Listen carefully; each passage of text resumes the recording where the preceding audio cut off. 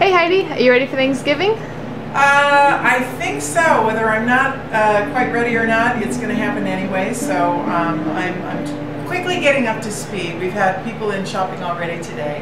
Um, so first off, I want to say thank you to everybody that participated in the fundraiser for Buddy Williams. It was a wonderful, wonderful event in Via Verde Country Club last Friday. And um, for those of you that came and supported, the generosity and the love in the room was just immense. So I'm, I'm very thankful for that opportunity to participate. And um, so we're looking forward now to this week, which is uh, Thanksgiving. We did most of our Thanksgiving wines last week. Um, I wanted to keep this week a little casual, kind of lighthearted fun. So we've picked some wines uh, from Oregon. It's Wines by Joe. We've got three of the wines by Joe, and then his Jovino label, and also Dobbes. Joe Dobbes happens to be the winemaker. And so, um, anyhow, uh, we are starting off with the uh, Pinot Gris. This is the really good wine by Joe. Uh, Pinot Gris, 100% Pinot Gris, all stainless steel, fermented and aged. Nice citrus notes on this, wonderful bright acidity. Um, when you when you ferment and age in stainless steel, it keeps that bright acidity, food-friendly levels of acidity, and also the nice aromatics.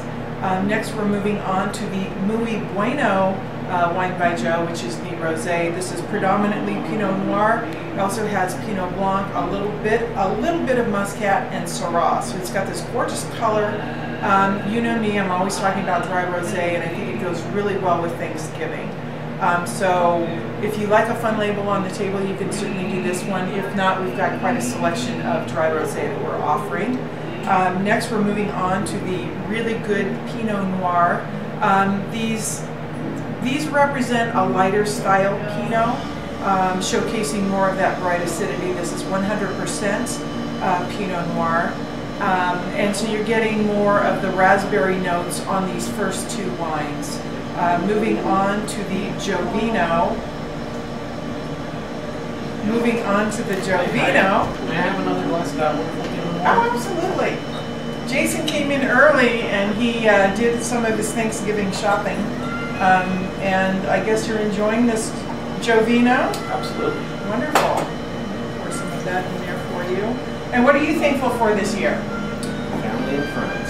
Good for you. All right, wonderful. Well, I'll catch you out on the patio in a few minutes. Cheers. Happy Thanksgiving to you too.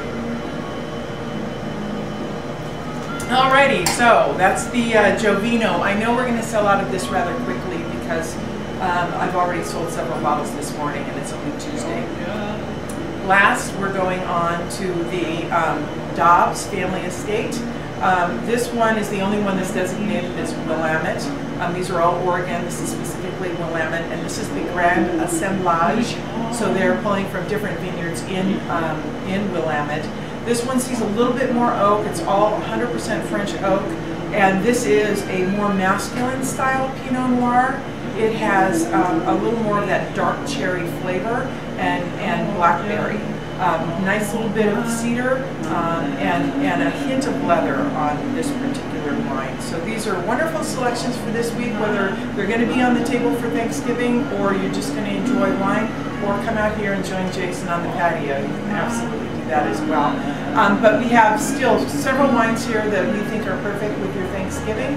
So come on in and see us. We will be closed on Thursday uh, and also Friday, reopening on Saturday. So um, plan your schedule around it. And everybody have a wonderful, safe, happy, uh, food-driven, wine-drinking Thanksgiving.